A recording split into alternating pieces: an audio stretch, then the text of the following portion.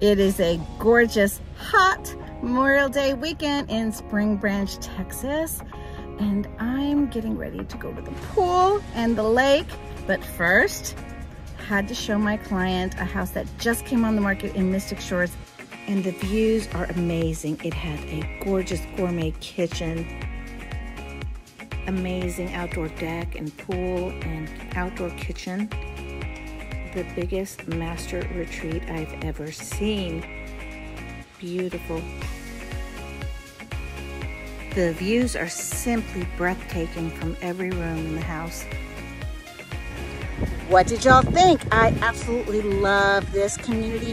If you want to know more about Mystic Shores and all the amenities, go watch my YouTube video and give me a call. I'd love to give you a personal tour. Have a great day.